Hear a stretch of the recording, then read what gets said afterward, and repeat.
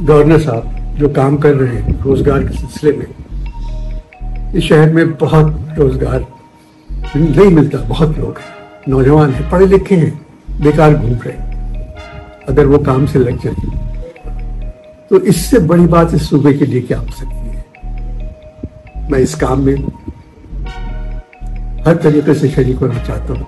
और मैं चाहता हूँ कि इस मुल्क के और शहर के नौजवान, पढ़े लिखे जो हैं तो पर पढ़ा भी नहीं है उन्होंने अगर कोई काम सीख ले तो घर का खर्चा, घर के चेहरे, घर के लोगों के चेहरे पर मुस्कुरा है।